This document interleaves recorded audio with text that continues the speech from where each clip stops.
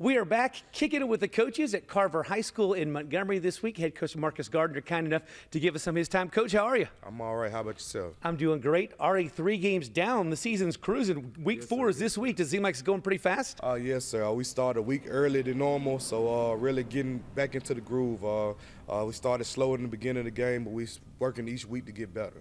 Tell me about this year's team. Last year, you guys sent two guys to the University of Alabama, so you had some big holes to fill. And you said as the season has progressed, you think you're starting to fill those spots. Yeah, we played a lot of 10 graders. A lot of uh, juniors been playing since they was in ninth grade.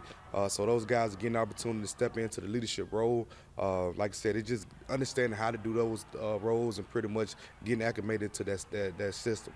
Uh, so most guys are coming in like the last two weeks. I think we got better and better. So we're trying to get at least a mid uh, mid year scheme so we can get better. You said week one was kind of a slow start. What have you seen since then? What do you like about where this team's going now? Uh, the response from the second week. Uh, we played a good Daphne team. Uh, they stepped in. Uh, it was all the way to the fourth quarter, and the way they fought.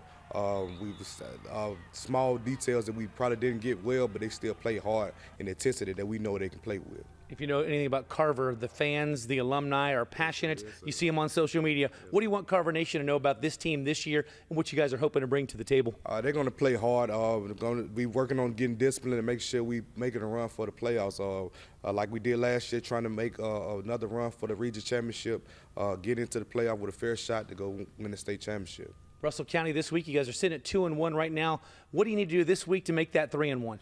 Uh, like I tell the guys, uh, we had our practice this morning. And we're not worrying about Russell County anymore. We're trying to get better uh, each week so we can get into our mid-season form.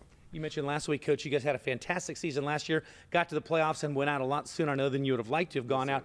What's the message this season as far as not just getting to the playoffs, but then doing some damage once you get there? Uh, those these guys know how to be successful. Uh, like I said, we getting a fair shot at, at the playoffs with all our guys. Uh, we, we, just want to make our opportunity, and when we get our opportunity, we'll uh, make everybody proud. I saw you guys have a new facility that's being built across campus. It'll eventually be a place for the players to change and shower and get ready. How excited are you to have that? Hopefully by sometime late this year, early next year. Uh, it's a huge addition. Uh, like I said, is uh, we're making shift uh, things that we got right now, uh, but the guys deserve uh, those facilities. It's good that the system MPS is giving us extra amenities so we can those what the kids deserve pretty much. We'll have to come back and visit that once that's done, Coach. Yeah, yeah, thank you so much. Best of luck this week. Right. All right, thank you. We appreciate you joining us, Coach Marcus Gardner, the Carver Wolverines. That's week's edition of Kicking It with the Coach.